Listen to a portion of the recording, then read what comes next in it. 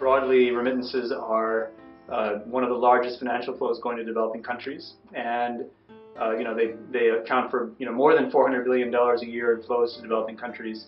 Um, but uh, you know uh, you know they're not nearly as widely studied, and in particular, we aren't thinking as much about economic policies related to remittances as we are about uh, foreign aid, for example, which in contrast is much lower in magnitude. You know, typically only about 100, 150 billion dollars a year in in, uh, uh, are going in the form of foreign aid to developing countries, whereas remittances are you know about three times larger. Um, so that's what I was uh, talking about. Main, the main development, though, has been on the remittance front. Uh, remittances uh, have certainly grown in public perceptions. Um, they've grown some in terms of actual dollar figures, but some of the some of the um, some of the perception is coming, the increase in, in, perceptions is coming from the fact that remittances are just better recorded by international and national statistical agencies.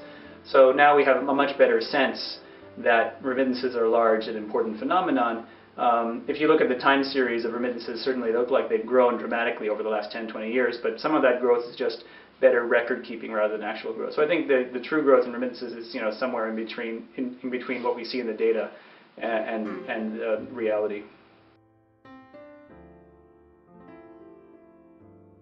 Well, remittances clearly have a range of positive effects on families that receive them.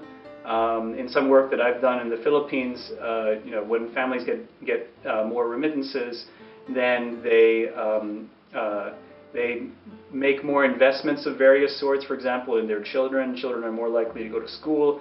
Families spend more on education, which probably reflects some uh, transition from public to private schooling.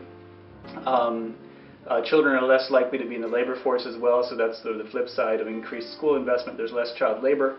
Um, and we also see uh, families transitioning towards uh, more small entrepreneurship, um, in particular capital intensive entrepreneurship. Families get um, become more involved in, for example, providing transportation services. They purchase vehicles to provide transportation services. They're more likely to invest in small business capital.